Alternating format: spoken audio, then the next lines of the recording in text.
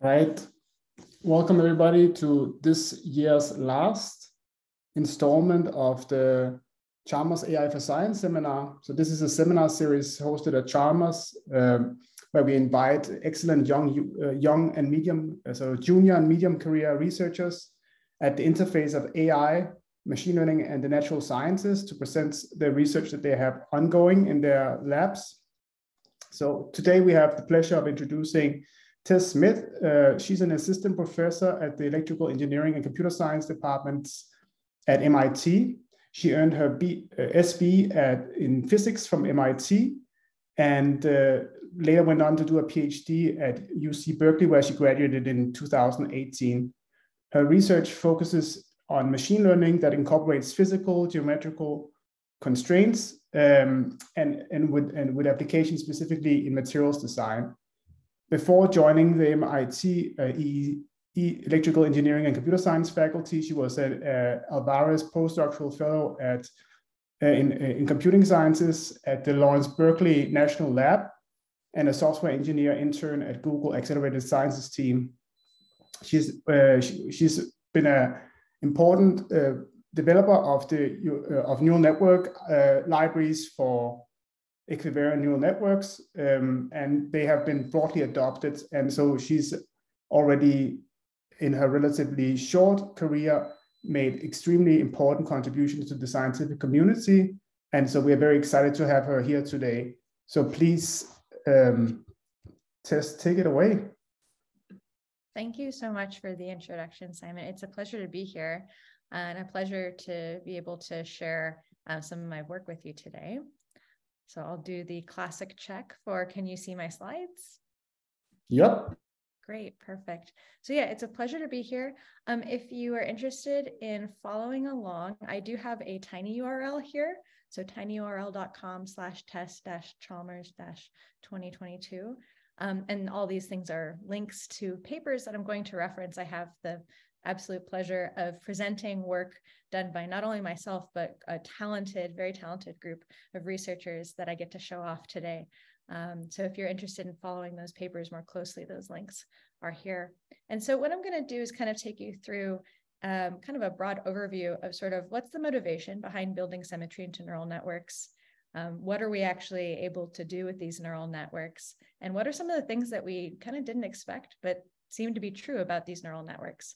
Additionally, um, I'm going to encourage folks, especially because this is remote, to please ask questions during the talk, either through the chat um, or otherwise. So I'll pause at different points during the talk, and I'm happy to take any questions.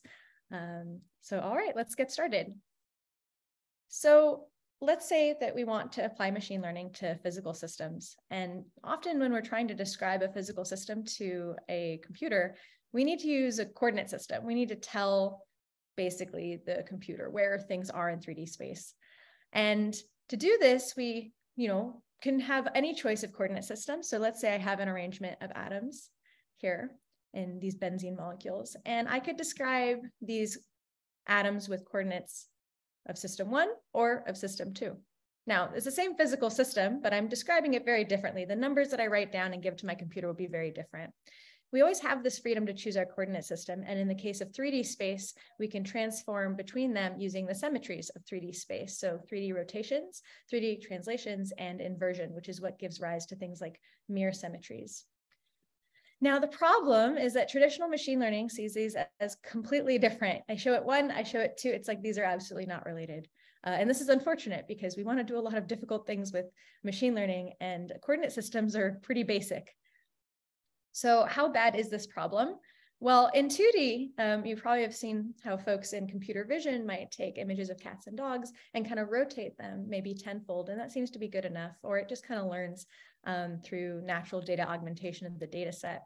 In 3D, this gets substantially worse. So instead of tenfold augmentation, we need about a 500 fold.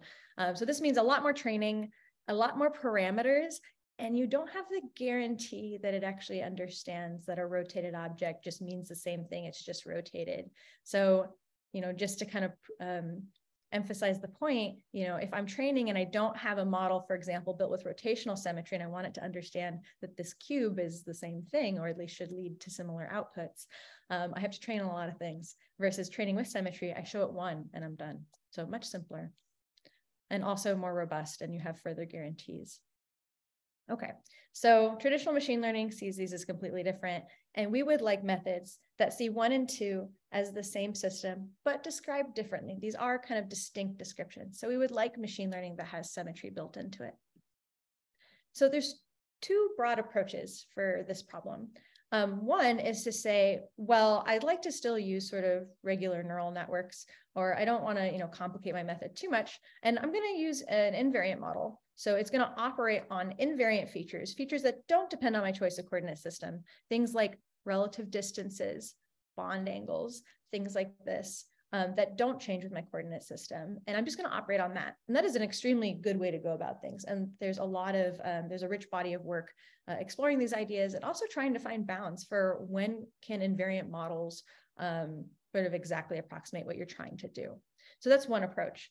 Um, but there's also equivariant models, which basically recognize and keep around the coordinate system. And if your coordinate system changes, the outputs will change accordingly. So you're not stuck with only predicting invariant features. You can also predict things like higher order tensors and matrices. So it's a bit more rich of a space.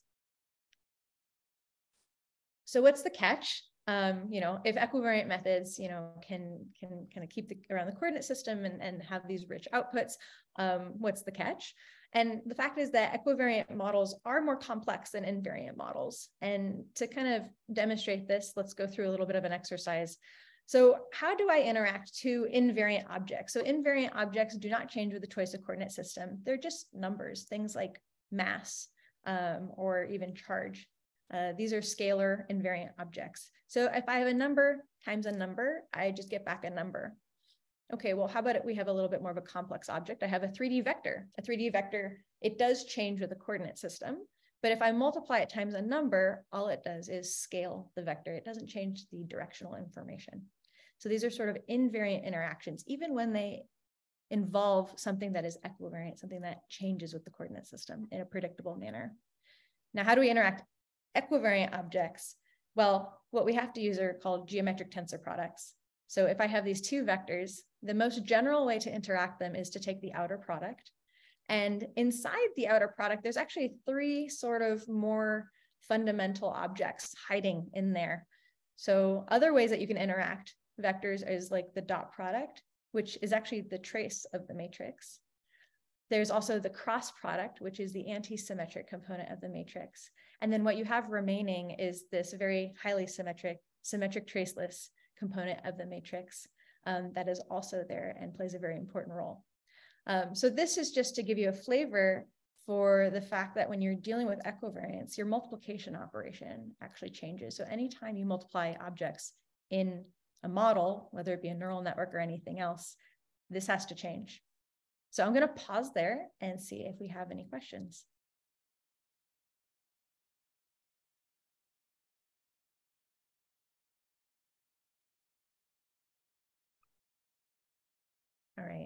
I'm guessing no questions, so I will keep going. But if they come up, definitely ask them. There is a there is a question. Oh, there's a question. Well. Yeah. Okay. Uh, oh, in the chat, you're saying? Right. Yeah.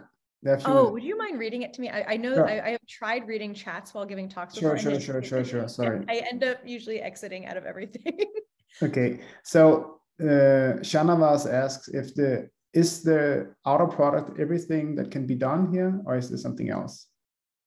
Um, as far as I'm aware of, at least for the groups that I'm considering, uh, the outer product is the most general. Okay, and then there's somebody who's asking to what the relationship to DimeNet is, if if that's something that is. Uh... Okay, I have to remember specifically. I think DimeNet has, and I might be getting this confused with another network. Um, I've definitely read the DimeNet paper, but now I'm just confusing with something else. Um, if I'm remembering correctly, it has um, things like bond angles, maybe dihedrals, like it has different body orders, but they are all invariant objects. And so I don't go into body order in this talk, but it's the notion that you can have features um, in a model that not only belong to sort of like one atom, if we are taking kind of a chemistry context, it can belong to sort of a set of atoms and even a set of atoms in a particular order. And so that can be the body order. Um, and so that has to do more with, I believe DimeNet is also kind of in the graph neural network paradigm. Um, and so I believe then the issue there is sort of deciding how these different body order objects are going to interact with each other. And that's a permutation symmetry issue, uh, not a rotational symmetry issue. So it's still, still important, still very important. Um, but if I'm remembering correctly, I think that's the difference. Great. I think we can move on. Thanks, Tess. Great. Thanks for the question. And also, if I got that completely wrong, I apologize to the DimeNet authors, and I, I will remind myself uh, the specifics of that paper afterward. okay, so at a high level, why limit yourself to functions that have symmetry? And one of the main reasons is that you can substantially constrain the function space that you're looking over. So if I have like all learnable functions, which kind of general neural networks promise me, they're universal approximators. You know, this is a very huge space. Um, but if I'm doing something, especially in the physical sciences, I don't really want to learn like any function. I don't want to learn like, you know, um, how many angels on the head of a pin lead to you know quantum electrodynamics or something you know it's like there's certain functions i just don't don't want to learn that's not in the context of what i want to learn. So if i have all the learnable functions that obey a specific symmetry such as euclidean symmetry in this talk uh, that space is much smaller. And so it's making your data more powerful. Basically you get to learn more from each example and we'll show kind of more concretely like how does that actually affect things? Um, so rather than all learnable functions constrained by your data, you actually have this much smaller space of functions and you're more likely to find more robust and generalizable solutions. Why not do um, other, like go even further and say, I'm gonna just restrict myself to invariant functions. And this can be possible. It could be that you don't need an equivariant function, but you just need an invariant one. But the trick here is that you need to ensure if you needed to compute any outer products or cross products or dot products, if you needed to do that beforehand in order to get certain invariant quantities necessary to do your, your invariant function, you have to make sure you did that beforehand. So, so there's kind of no going back. Once you start using an invariant method, um, you really hope that you already had any equivariant interactions that you already needed. Um, so that's kind of the trade-off. So like all learnable equivariant functions is bigger than the space of invariant functions. And you can end up a situ in a situation where given the data that you have, the inputs and the outputs, it may not be possible to actually learn a invariant function that gets you where you need to go. Um, or you might be on the border where it's like you kind of can approximate it, but maybe you're also kind of on the side uh, that it would have been better or more efficient, more computationally efficient for a neural network to sort of learn um, the information using equivariant functions versus invariant. Or you might be solidly um, kind of in invariant function land. So these are kind of different situations you can end up in. So for the rest of the talk, I'll talk about um, Euclidean neural networks and any type of method that is Euclidean symmetry equivariant has Euclidean symmetry built into the model. And this means that the method understands that a system described by different, or a system that's described by different coordinate systems still means the same thing. And it understands that even without training. So this is not part of the training procedure. This is part of how the model is actually built from the ground up. Um, but if you do train it, um, there are many nice properties. So for example, let's suppose I have a water molecule and I'm just rotating it. And this is a looks like a fairly simple rotation. We can kind of intuitively say, okay, yeah, that's a 3D rotation of a water molecule. This is the Hamiltonian for this water molecule computed with density functional theory. Uh, so it is a complex tensor where we have basically electrons on different atomic orbitals interacting with one another. And the thing I want to show here is just that this is pretty intuitive to see these transformations. This is much less intuitive. Things are changing rapidly. Um, and they're changing at different frequencies for different parts of this matrix. This is a much more complex object. Uh, and the nice thing is that if you have Euclidean symmetry built in, you show it one example, it will be able to um, make this prediction in any orientation automatically. So you can see how this might allow your model to not have to learn rotation and instead focus on, on the really hard problem, which is learning quantum mechanics. So furthermore, just to kind of give some more examples to make this more concrete, um, I work a lot with crystal systems. And the way we describe crystals are with these things called unit cells, which is basically a box. You put atoms in the box and then you tile the box in 3D space. And there is no unique way to represent a crystal. They're just sort of a useful tool that we use to communicate what a crystal is in different circumstances. So this is all silicon. Um, and this silicon crystal, the smallest, one of the smallest ways to describe it is in this unit cell, although there's many other smallest unit cells. This is sort of the conventional unit cell, and this is a supercell. And what's nice is that if you have a symmetry equipped method, you can give either or any of these, and you're guaranteed to get the same answer or the appropriate answer. Um, so it understands it's the same system, it's just presented differently. Furthermore, if you want to predict forces on a molecule, you're guaranteed to predict the same forces, even if that molecule is rotated. Um, additionally, you're going to be able to generalize well to molecules that might have similar subgroups or similar motifs and patterns. Um, even furthermore, like in a crystal setting, you often have kind of these coordination environments. So in this one, rubidium, this rubidium manganese chloride crystal has a manganese atom octahedrally coordinated by chlorine atoms. And these two motifs, they are the same, but they are oriented relative to each other. So you'll simultaneously be able to identify this is the same motif, but you'll be sensitive to the fact that their relative orientation is different. And this is very advantageous for especially a lot of crystal properties. Okay, so this is a good point for me to pause again and see if there's any questions before I talk about some of the applications that we've done. Yeah, so I have a question about this. So you was you were saying that there's a like if you go back to the slide about the the invariant function approximations, yeah. So yeah, this one. So the the case where you are not learning the sort of the relevant function, that's the where you're not able to do it, even if you have maybe you are predicting and or the, the thing that you're predicting is intrinsically an equivariant property. Yeah. Since then that, that would fall into that category. Yeah, so that's certainly one part of it. It could also be that like maybe for some reason um, you needed to make some prediction and it really required a cross product in mm-hmm. order for you to make that prediction. Um, once you're only dealing with invariant interactions, there's really no way to do that. Um, so you might maybe you need like a pseudo scalar or something, um, something that like maybe you're predicting something about chirality, but maybe your none of your invariants are sensitive to chirality. Uh, and so this might be an issue. Now, some folks might argue, well, a pseudoscalar is not an invariant object. It's it's equivariant because it, it does change under parity.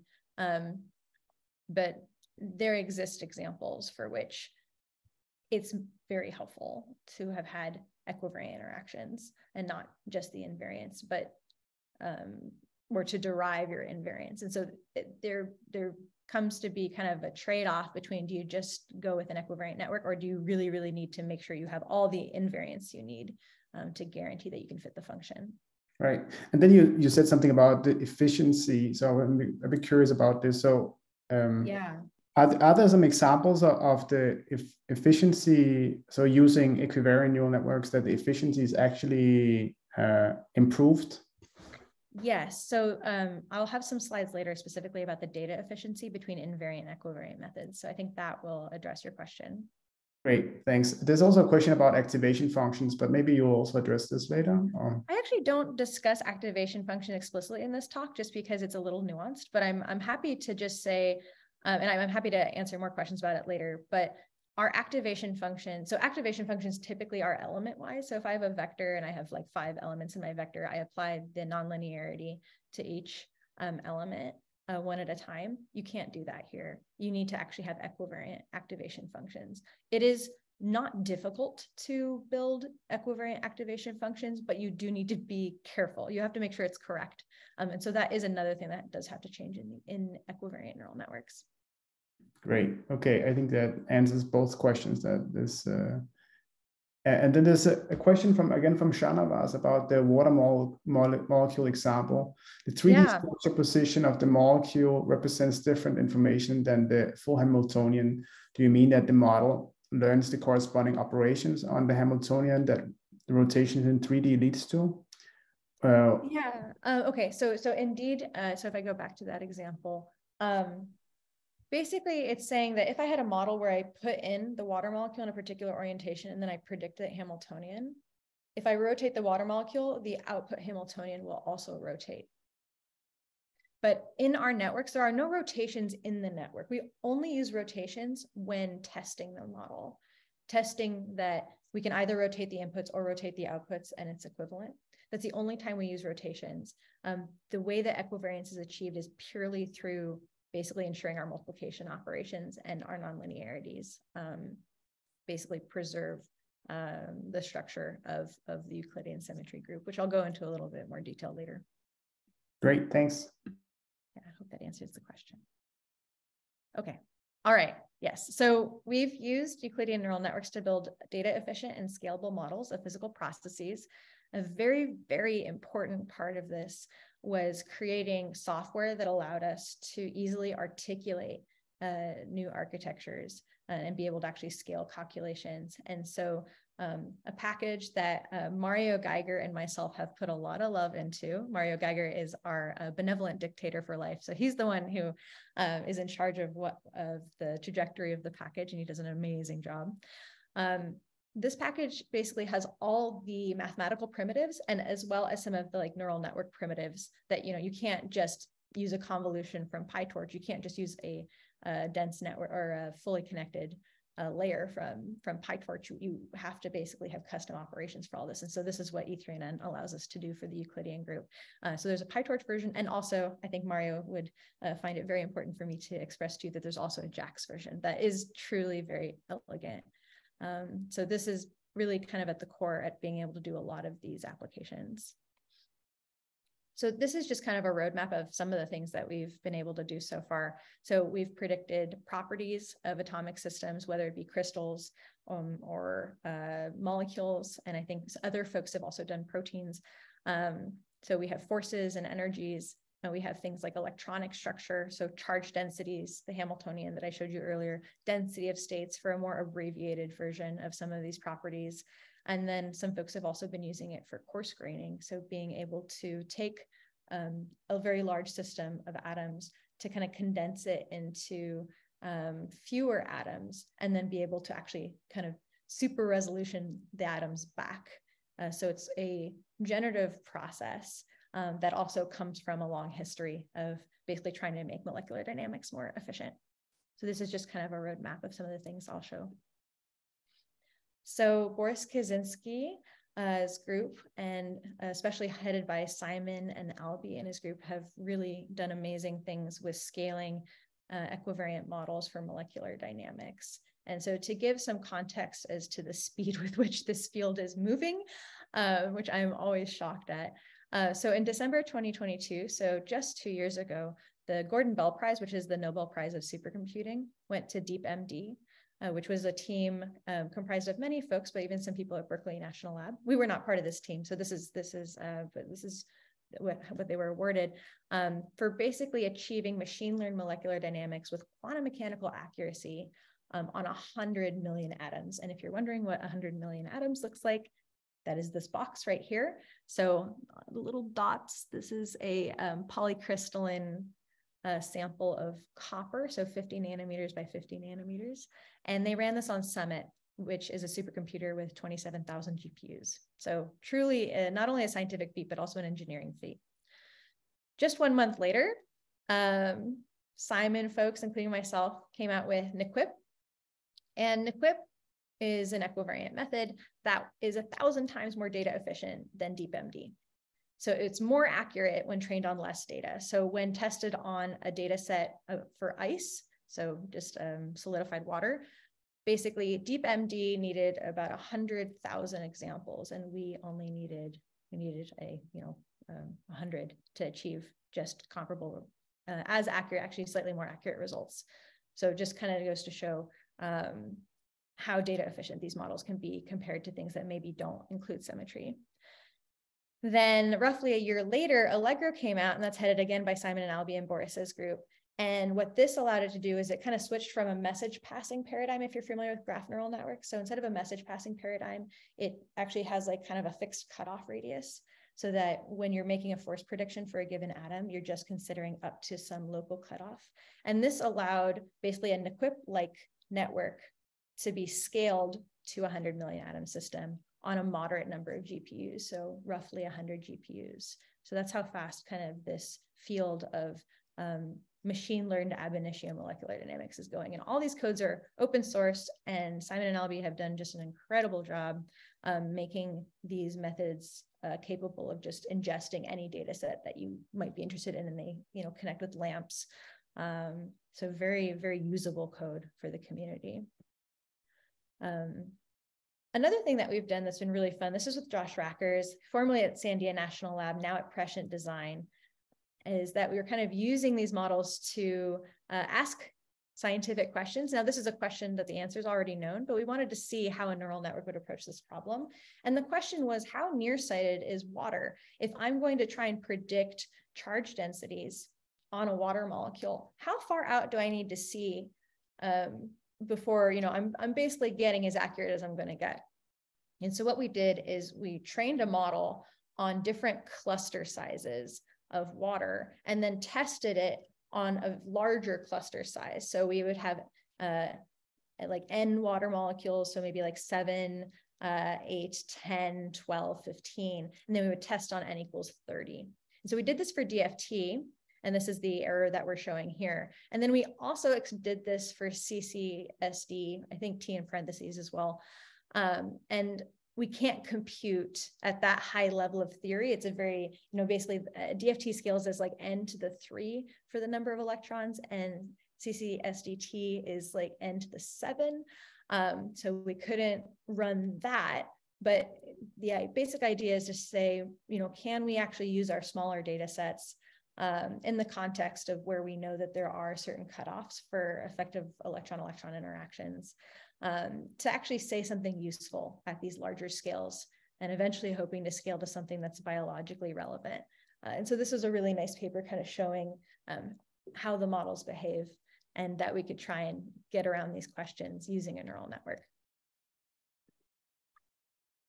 So this is going back to the idea that in molecular dynamics, one of the ways to make molecular dynamics go faster is to reduce the number of atoms that you're dealing with. So to coarsen your representation. But then ideally what you'd like to do is you'd like to go back to your uh, initial configuration, but because you've lost some degrees of freedom, you really are describing a statistical distribution of where all the atoms might be. So this is work um, led by Rafa Gomez Bombarelli's group. And um, the, the people doing the, the very hard work on this paper are Wujie, Minkai, and Chen. And this is a really cool use, a sort of a generative model task that we were using uh, equivariant neural networks for. I'm just going to check my time. Okay, great. Um, this is my proud parent moment. Um, I just started my group at MIT. And so this is the first paper that came out of my group. This is Equiformer, um, led by Yi-Lun Liao in my group. And this is an equivariant graph attention transformer. And we wanted to apply, basically see if we could apply attention mechanisms in graphs in an equivariant model to really challenging data sets like the Open Catalyst project. So in these tasks, we have this sort of metallic uh, surface, this, this um, it's like a heterogeneous catalysis problem. So you have this surface and you have a molecule coming in and you want to calculate kind of the energy of coming to interact with the surface in hopes that that's going to help encourage certain chemical reactions to occur. And so it's a very large data set, very varied. This surface can contain many different types of transition metals. And what was really cool is that Yi-Lun was able to demonstrate that his attention mechanism um, does really well with a very lightweight network on this task. So even though ninth might not seem like a great achievement, um, you have to put it in the context of how completely huge some of these other models are. Um, they're truly gigantic. And additionally, um, Yi-Lun's Equiformer model was trained uh, with 10 times less epochs. So it saw the data 10 less times. Um, and part of that is con computational constraints. Um, we only have a very small little cluster for now. Uh, but it, it, was really impressive to see that just by a good choice of architecture and, and tuning, um, you could see a much more compact model do very well on a challenging data set. And then uh, furthermore, then Yi-Lun took Equiformer plus uh, the spherical channel network that um, was, was um, done by Meta. It's a really cool paper. I encourage you to look at it. It's really interesting. It has some not quite equivariant mechanism, but it allows it to go to higher angular frequency and uh, which I'll discuss in more detail later, but a very cool network. And so Yi-Lun combined the two to kind of get the best of both worlds and was able to achieve second place um, at the uh, Open Catalyst Challenge for 2022. And he's actually giving his talk later today. Um, this is Central Time, so around uh, uh, 3.50 Central Time at the NeurIPS uh, Open Catalyst Challenge um, uh, session. So very excited uh, for him on that. And then additionally, it's been really cool to see that Equiformer has actually been picked up by other folks, at least the attention mechanism has, and been applied to other problems. So Equifold came out by Prescient Design and Friends and applies an Equiformer inspired architecture to the problem of protein folding. And what's very cool about the Equifold model, model is that it has comparable accuracy to AlphaFold, but it doesn't use multi-sequence alignment and it's much faster. So Equifold might do something in one second that took AlphaFold one hour. And they have, they just published their code recently as well. Um, so very cool stuff going on. It's, it's really cool to see how rapidly things, things move in this area. Okay, I'll pause there really quick just to see if there's any questions about some of the applications. Um, and then I'll go on to some of the, the unexpected lessons in the remaining time. Yeah, I wonder if you could comment a bit on on the on the on the attention mechanism that you have in the Equiformer network. Can you because you you mentioned that this was somehow the new thing in, in that can you maybe give a quick rundown of how that works? Yes. Yeah, I'll just give a very high level kind of description. I don't actually have any slides for that one. I really should ask Yi-Lun for his slides. Um, the basic idea, so there exists other equivariant transformer models um, or other equivariant attention models. But what is different about the one that Yi-Lun came up with is that it's sort of like more equivariant. It's using more tensor products. It's not um, just using dot products. So a dot product is an equivariant operation, but it is not sort of, again, this outer product notion, this tensor product notion. So Yi-Lun's model uses a more general um, tensor product for um, the attention mechanism. And also, I think Yi-Lun really pared down it looks very similar to sort of like the original Transformers. Um, it's it's a very simple model. It's it's probably much easier just to go to the Equiformer paper and and look at the um, if I was just showing that diagram. But those are those are kind of the two things that I think really stand out with Equiformer is its simplicity and the fact that it's really taking equivariance like it's it's replacing any operation in a transformer with an equivariant equivalent that's like maximally equivariant. So tensor product, not just dot product. So those are the kind of the two main differences. Right. Okay. Thanks. Great. So this is going to get back to Simon's question about like, well, do we actually know that whether equivariant models are more efficient than invariant models. And so this is something that has kind of emerged out of a lot of these works is that folks are noticing that equivariant models are more data efficient, even when you're predicting an invariant quantity. So you're predicting something like energy. Even then, an equivariant model is more data efficient. And the way that we sort of explore this is um, what you do is that you you will train many different models um, but you look at sort of the log of the error of the model on your task and the log of the number of training examples and what that'll do is you'll roughly see a trend that is linear in log log space for basically what is the error that you achieve for the number of training examples that you include. And as you include more training examples, the model should get better. It should be learning more and more. So as long as your model has enough capacity to learn, um, this error should keep going down as it see, sees more examples. And what we're seeing is that the slope of these linear trends uh, is different for invariant versus equivariant models. And so basically invariant has a slope, but an equivariant has a steeper slope. So it's sort of learning more quickly. Now the offset will be very architecture and task dependent, but we find that the slope is like fairly robust. And these are just some examples. I think there are others at this point, but these are just some examples of seeing this in molecular dynamics for force fields, uh, seeing this for predicting electron densities, where essentially you have sort of one slope and then you have another slope for um, when you sort of turn on additional um, equivariant features. So I haven't yet actually discussed the difference between L equals one and L max equals greater than one. That'll be in some future slides, but just in the session, the, the sense that one, you know, L equals zero is invariant and then anything greater than that is going to be equivariant. So we see that in different tasks, these are more or less robust. And we even see this across sort of different architectures. So this is a very interesting trend. We don't have a um, like formal theoretical statement for why this is. And that's something that I think a lot of the theorists are excited about to, to try and uh, figure out. All right. So I haven't actually told you like nitty gritty, like how this stuff works under the hood. So let's get into that now. So Euclidean neural networks are a combination of neural networks and representation theory.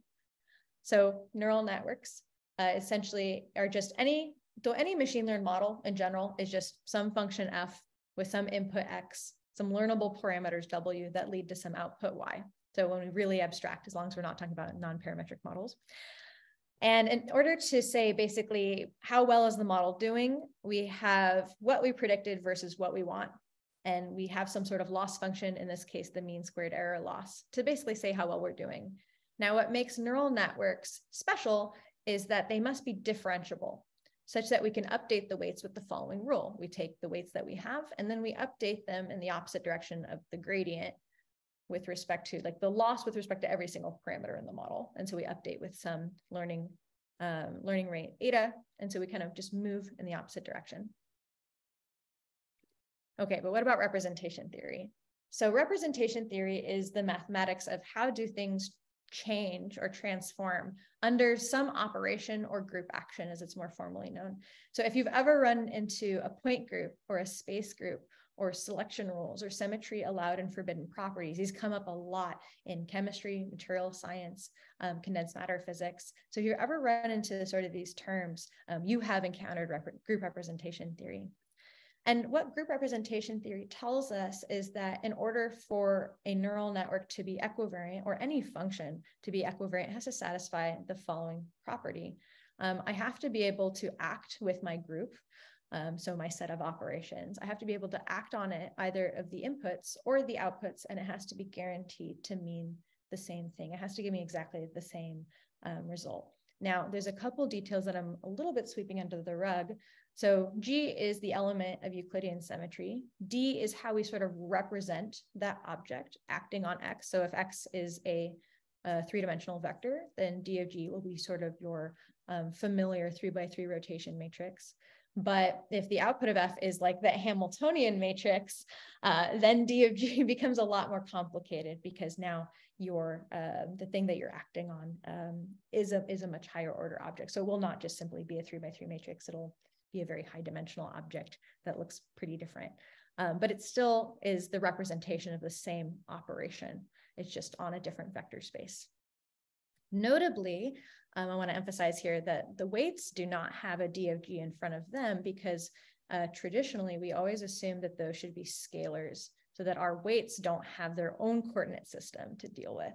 Uh, and that just ends up being a lot easier. There are circumstances where you might not want this to be the case though. I don't talk about that today, but it's something that I'm actively thinking about. Okay, so what is actually the input to these methods? Well, we input geometry and features on that geometry. So if I have these two point masses, they have a mass, and maybe let's say they have a velocity and an acceleration vector. So I have to give basically where are the features in space and what are they?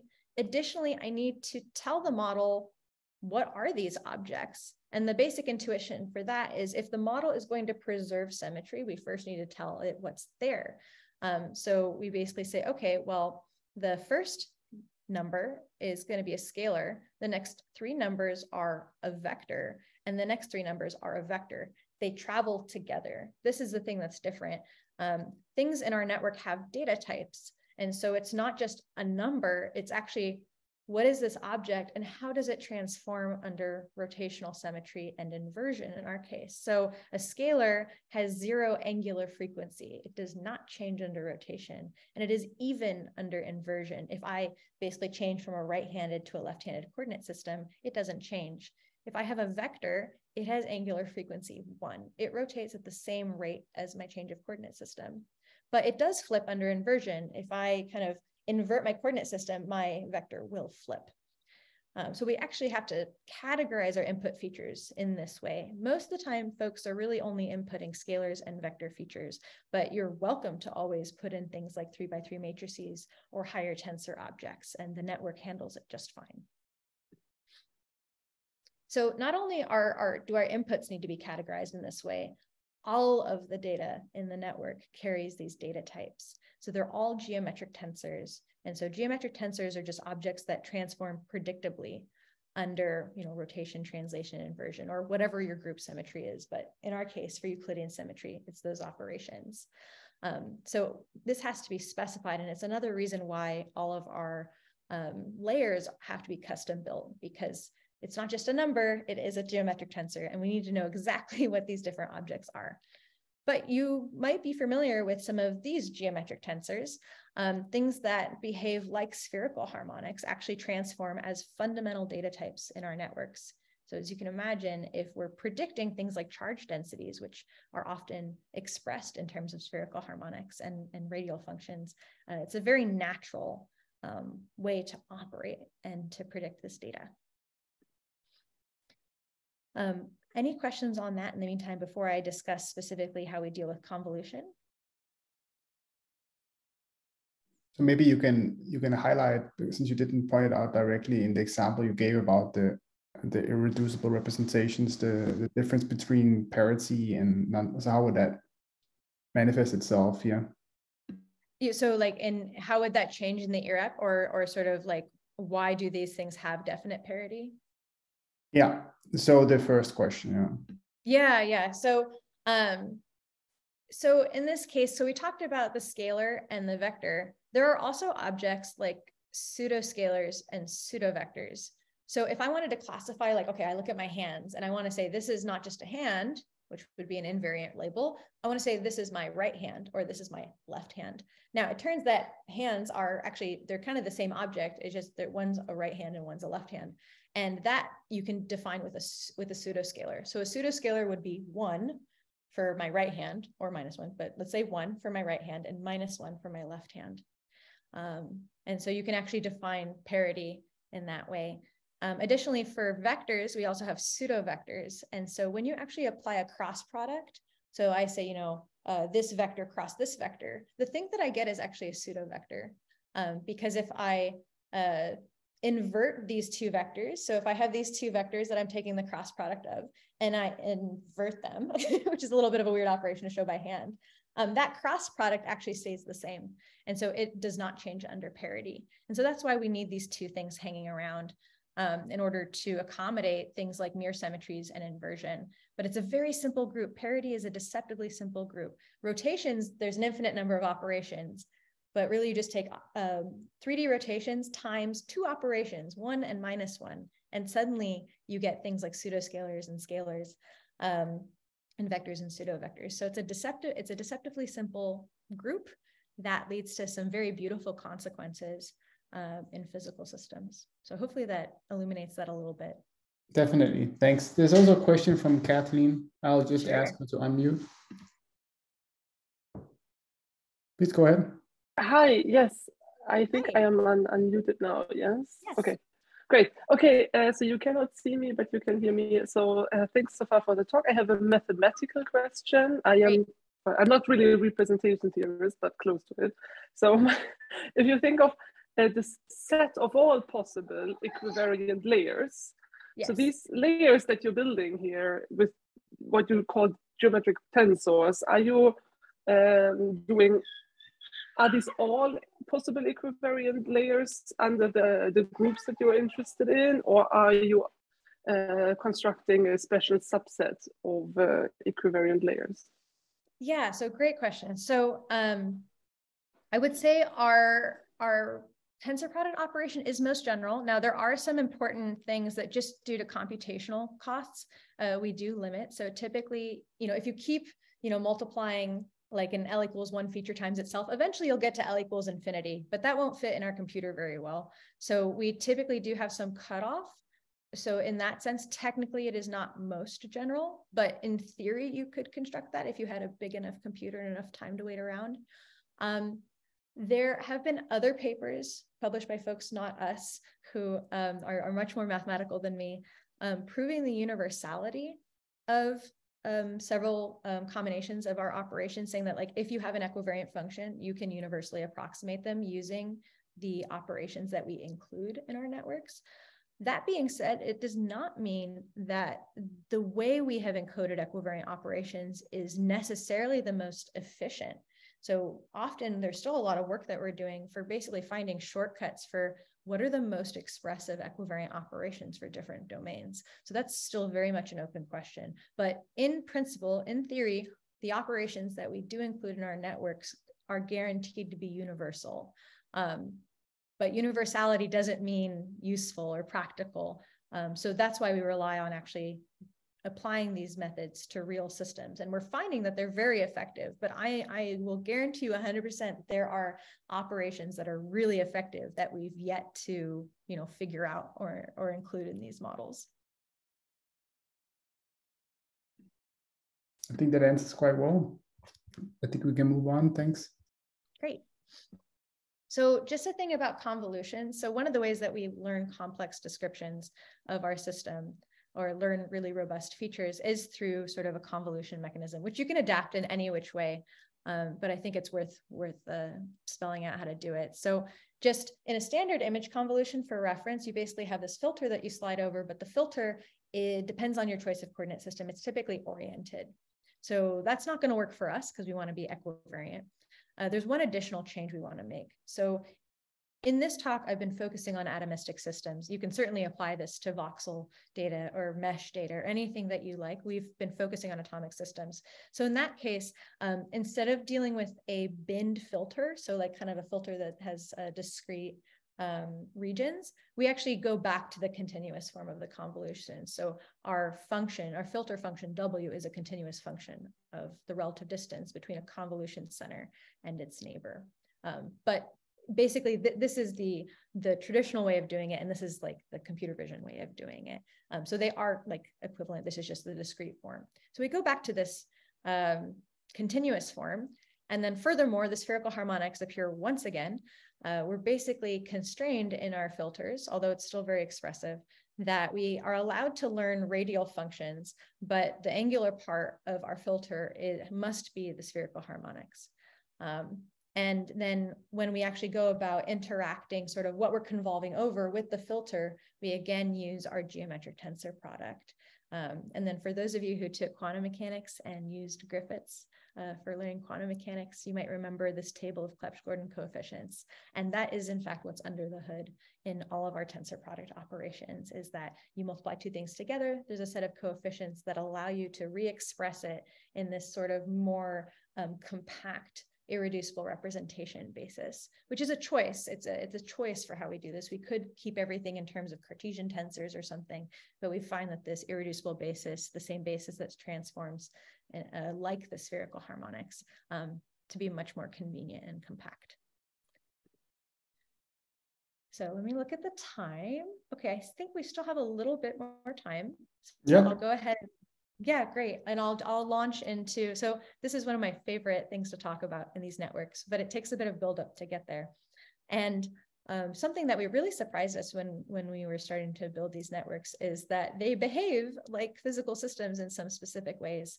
So if you have a symmetry preserving network, Euclidean or otherwise, it turns out that the outputs have to have equal or higher symmetry than the inputs.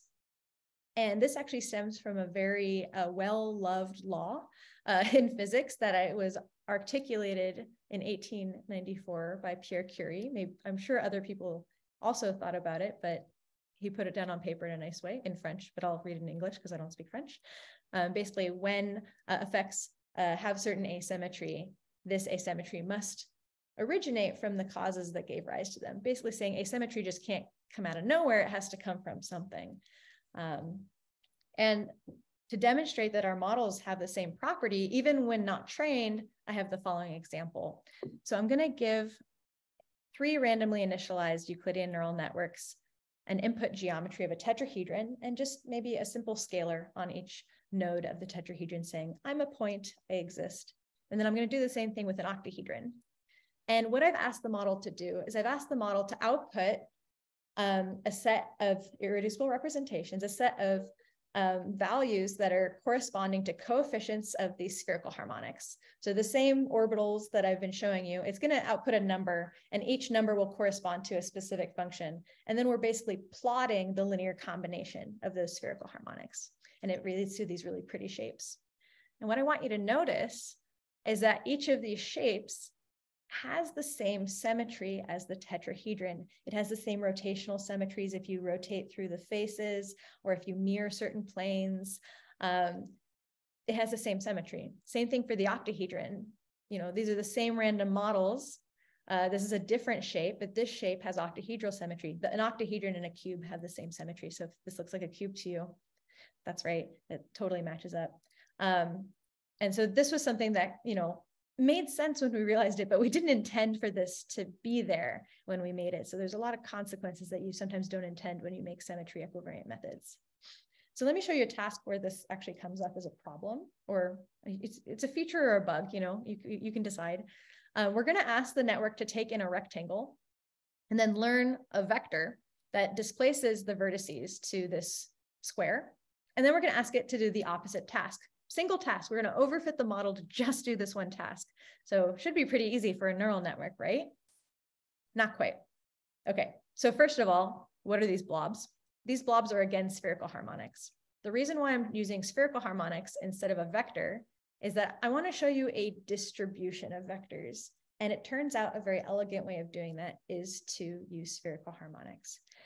And so what you see here is that if I ask the neural network to take a rectangle and move the points to be a square, no problem. It predicts that, okay, I can learn this distribution of vectors. This is going to be the one that's most probable. We go in this direction. Everything's, everything's great. What is happening over here? It is not doing the task. You know, it doesn't have a blob reaching here. In fact, it has two lobes. Uh, they're half the size. what is going on? The network predict a degenerate outcome. Even though it was trained on one example to go to this rectangle, it basically automatically knows by symmetry there's actually two degenerate solutions to this. And so it predicts the average of the two options. So this plus this divided by two. And so this is really interesting, but it's also very frustrating. You're like, maybe you really wanted to predict that rectangle. So what can you do? Well, in physics, this is actually a well-known thing uh, when dealing with structural phase transitions of crystals. And what we typically do is to describe this symmetry breaking is that we use these things called order parameters. So if I have a high symmetry state, like a square, and I have these two lower degenerate uh, symmetry states, like my rectangle, what I need to do is I need to figure out some order parameter that articulates that I'm choosing a particular direction in this symmetric situation. And it turns out these order parameters are also tensors. They, they are geometric tensors as well. So we did the following. Um, we basically then say, okay, I see that you have a degenerate situation. What information did I need to give you in order for you to be able to pick this rectangle over this rectangle? And so we're going to learn kind of like an, a global environmental parameter, something that um, all of the atoms see. It's not specific to each or each point, um, you know, how could we how could we fix this? So we're going to use the same gradient trick that we use to train a neural network, but instead of updating the weights, we're going to update the inputs and allow the inputs to have equivariant features or higher order tensor features that we initialize as zero. We assume, okay, you only have scalar information, but you're going to learn some equivariant features that will allow you to break this symmetry. And so what ends up happening, what's really cool is that you can actually, you can, there's, there's very short little group theory proofs that you can make that shows that the gradients will only update the minimal amount of information it needs to break the symmetry. And so you start off with just a scalar feature, so that can be represented as just a sphere. And then you learn these anisotropies that are essentially stretching in uh, one of the directions. So it's stretching kind of, in this case, along the x direction. It's sort of saying, oh, the x direction is different than the y direction. Those are sort of different in this system. So this is the missing information that we needed to complete this task. And so by learning this order parameter, now the model can actually fit the data. And there's a, this looks like maybe a lot of irreps. There's kind of a zero um, or there's two and four, um, but actually um, you only need one of them. Uh, once you go to lower symmetry, a lot of the irreps and higher symmetry become effectively the same type of object uh, for in case for folks who are curious.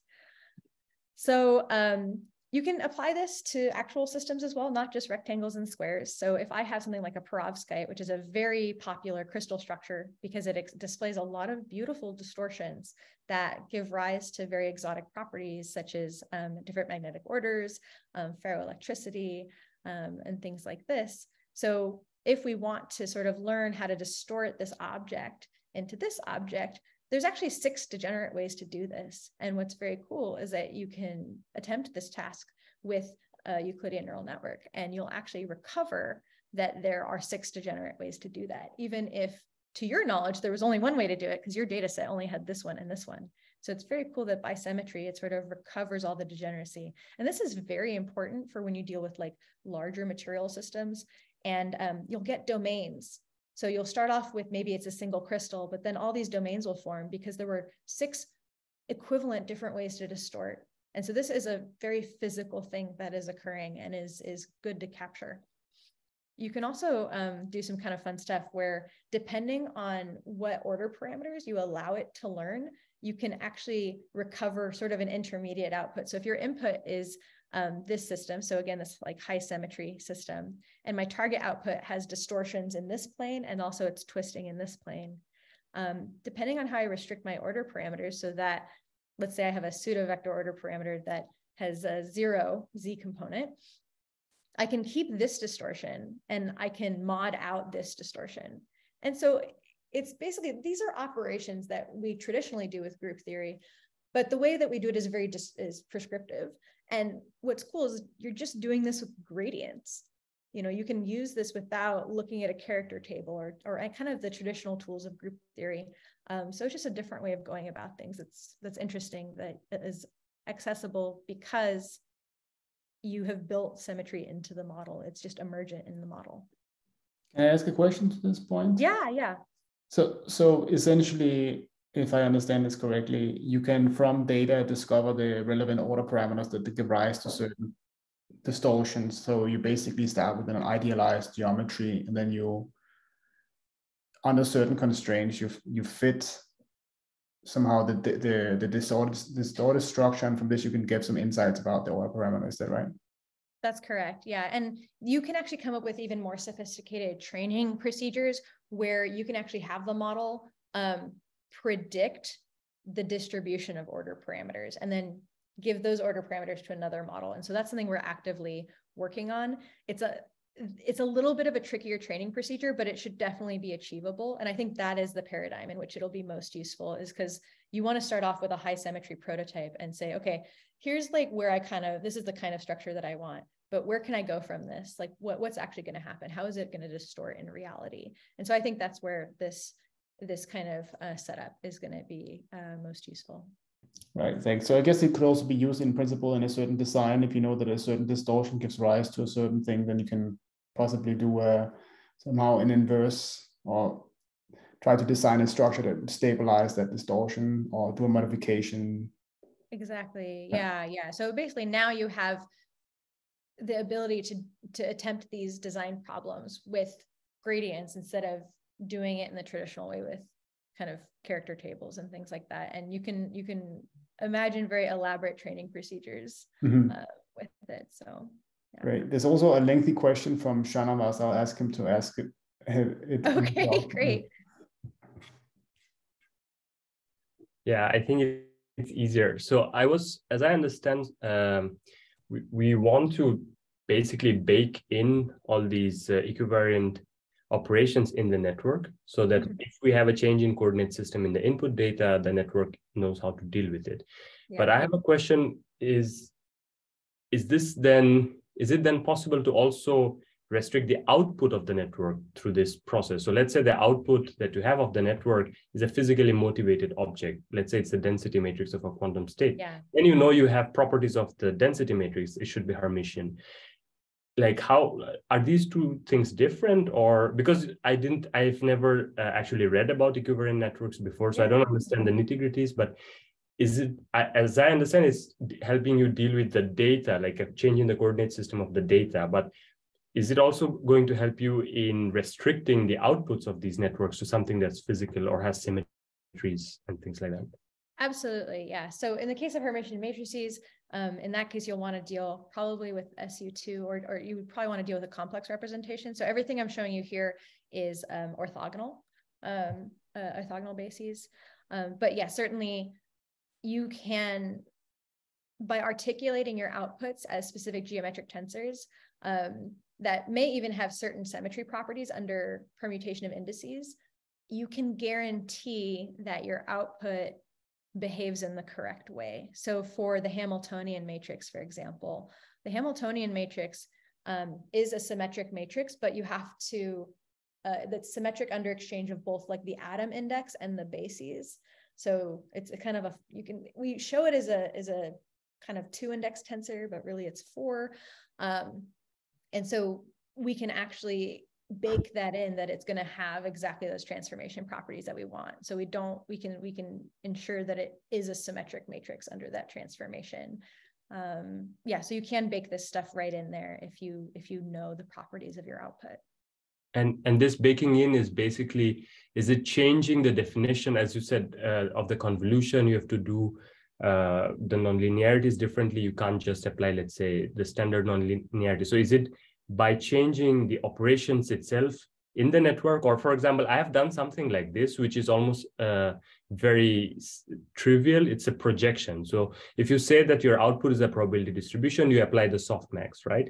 Then you can just get uh, the sum to zero so all the nice properties there. So if you extend this much further and you say your output is a positive semi-definite hermitian matrix you can kind of take a random matrix uh, to make it Hermitian, you just do the matrix plus its transpose by two, and you force the layers in the network that has these properties. And since all of them are auto-differentiable, it just works.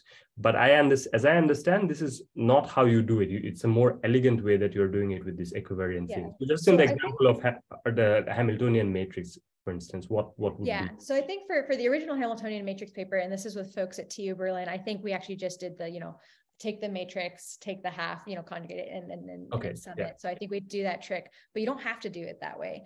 And you can do it by controlling the, um, like which you're, so all of our outputs, in our case, our output is irreducible representations.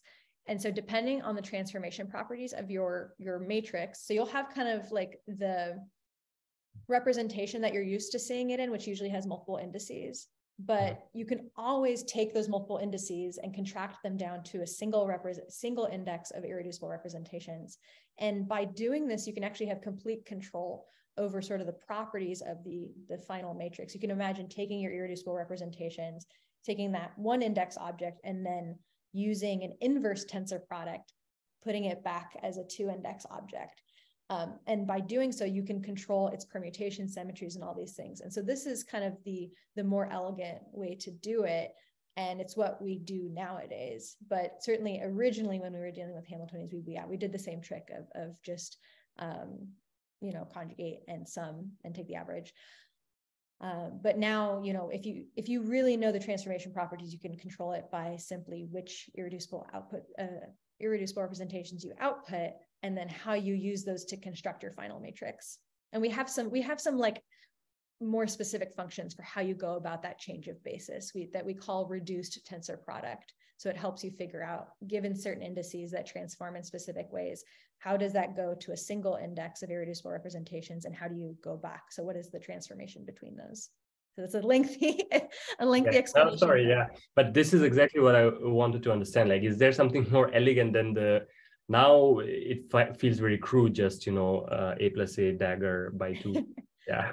I mean it gets the job done too. There's there's a you know it's there's really efficient practicality. Yeah. it's very it's efficient. really great. Yeah yeah yeah. But i wanted to see something more general because then uh, extending this to arbitrary problems. So now you, let's say you have a cptp completely positive trace preserving map then it's not so simple. What do you do with a matrix that's not cptp to make it cptp like there are course, you can do a lot of things, but they become costly.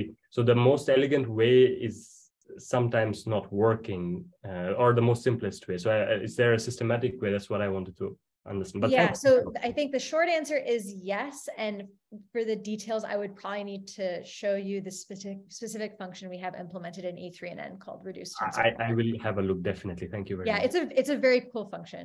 Um, it's it's not uh, it's a little it's a bit slow. It's faster in JAX. The JAX version is much much faster. Yeah, um, I'm all up for JAX. Like I, it's so I'm very happy to take a look. Thank you. Okay. Yeah, yeah. Thanks for the question. Great. Okay, I think there's there's one question maybe that we can save to the end that is about. Sure. The, yeah, I, I have like like three more slides. So um, I really appreciate all these questions. These these are great questions.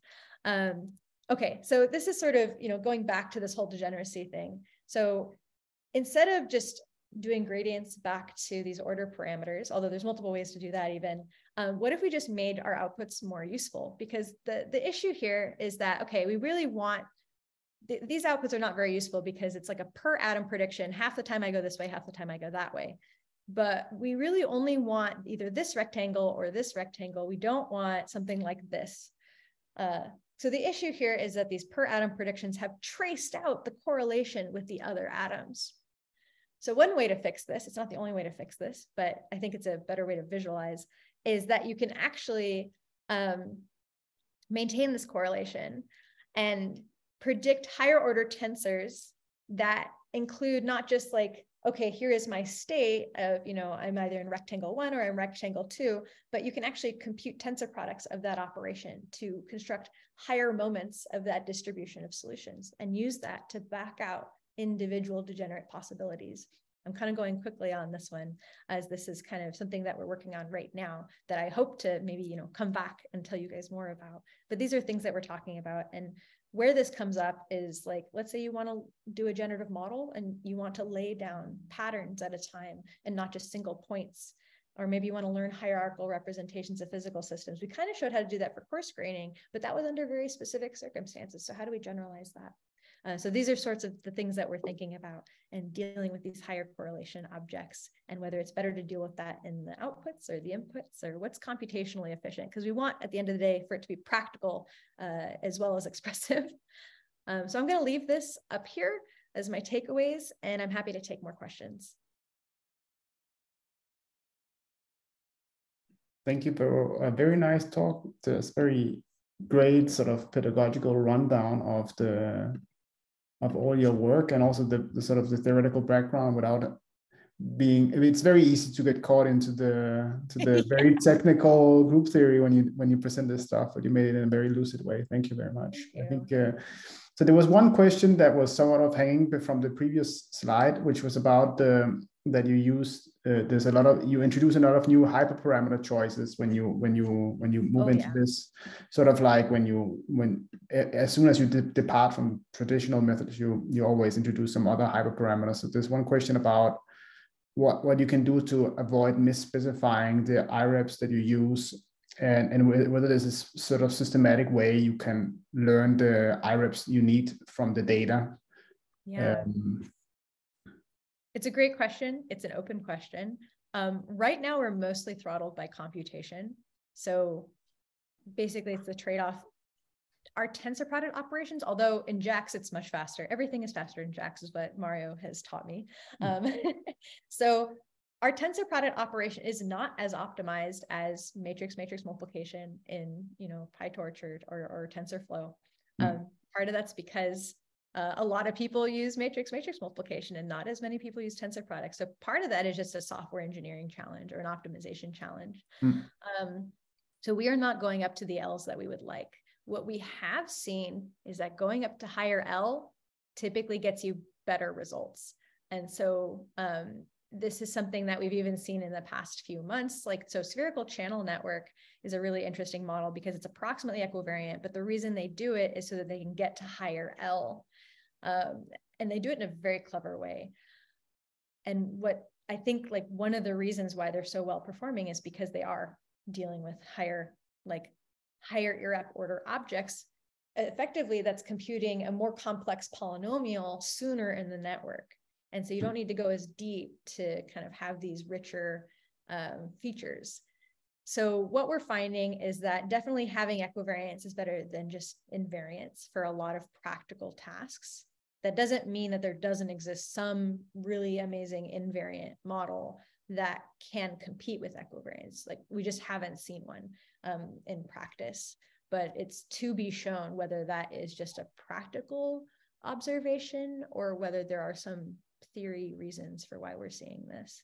Um, so we do find that if you can afford it, parity is really great to include as well, mm-hmm. especially depending on what you're predicting. Sometimes it's like completely necessary, uh, depending, like if you really want to predict outputs that are chiral, you really need a pseudoscalar around. Um, for coarse graining, this ended up being super important using pseudoscalars. Um, other than that, it is a it's a bit of guess and check right now, sadly, and uh, it's a balance between higher L and higher fidelity and more expressive components? And can this fit on the GPU? So there is that current trade off that I'm hoping will become less of an issue fairly soon. So yeah, I think that's a that's a good uh, that's a good way to look at. It. I think the the main constraints that we have as as I see it also is is exactly and what are the what are the architectures that we can practically explore right now right? That's the memory limitations and the the the, the gpu cycle limitations that these model introduce with the tensor products. So there's another question about infrastructure limitations i think because right because these software infrastructures have enabled so much but they are also tailored for certain things. Mm-hmm. um, so yeah i think i think the software infrastructure the hardware infrastructure and also just kind of how people think about neural networks all influence what is easy and what is hard to do. Absolutely. So there's a question about the phys- uh, about physical constraints generally in ml so there's of course e3nn which is the building things into the architecture directly, and then there's the sort of the other way, sort of the Lagrangian way of inc incorporating constraints into a loss function and optimizing it in this way. There's some uh, Dedi is uh, wondering about if you could comment a bit on these two different uh, approaches and maybe when one is applicable and when is one is not so applicable. Yeah, I mean, I think when you have a Lagrange, like if you're, especially for dynamical systems, I mean, things like Hamiltonian networks um, or neural ODEs. I mean, certainly if if your system is described by like a differential equation, um, that's a great thing to take advantage of. Everything I showed here, we're not doing really any time steps. I mean, we're doing time steps in the sense that we're doing molecular dynamics, but we're in the approximation of like you move an infinitesimal amount in time and space. Um, so I think all of that infrastructure that you know taking everything we know about lagrangian mechanics and hamiltonian mechanics um, is great to take advantage of and it really just depends on what are you trying to model. In our case for like we we know our hamiltonian it's the many body schrodinger equation we just we do not know how to solve it and so for us um, you know there are there's some really amazing works like uh, PauliNet FermiNet and i think there was a recent extension um, for you know figuring out wave function type things. And i think that has some very beautiful with the backflow algorithm it has like some some beautiful uh, physics informed architecture aspects in it. Um, yeah so i mean you, you should grab it whatever makes sense for your problem. Uh, in my case of dealing with um, quantum mechanical data that we get from calculating on supercomputers um, it doesn't seem super amenable to to using some of these priors just because our Hamiltonian we know is just not easily solvable. Um, but maybe maybe I'm just mis- misinformed on that. So, um, but yeah, I think all these techniques are ones we should have in our arsenal because um, science is hard. So, yeah. All right, thanks, uh, Tess. I think we'll we'll stop. Uh, there's one maybe one last question here. In the if you have time, that is, we are running over. It's okay. Uh, is the expressivity of the neural network limited by using only the radial function? I guess not, right?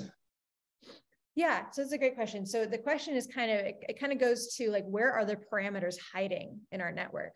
So in the case of convolutions, indeed they're in the radial functions, but there are also um, there are actually also weights in our tensor products. Um, so basically, like let's say I have two vectors and two vectors and I'm multiplying them. Now, these two vectors will lead to a three by three matrix. These two vectors will lead to a three by three matrix. And so will, you know, this vector and this vector. So there's like, I have four different three by three matrices I get out of this tensor product. And I can learn weights for which of these four matrices are more or less important. You know, do I want to add a, a positive or negative weight to these? And so there's also weights in there. So we're kind of selecting out which parts of the tensor product are more or less important. Um, you can actually hypothetically also use this for pruning, which would be really appealing because these operations can get quite pricey uh, for larger, uh, larger irrep objects. But that's another place where our parameters are hiding. Okay, so thank you, Tess. I think we'll end it here. And uh, yeah, thanks again for, for coming. It was a pleasure to have you. And uh, next time we'll have to invite you to Sweden. So I'm always up for coming to visit you guys in Sweden. Um, thank you so much for having me, and thank you for the amazing questions. It was super fun to engage with you, and uh, I hope everyone has a wonderful break. Thank you.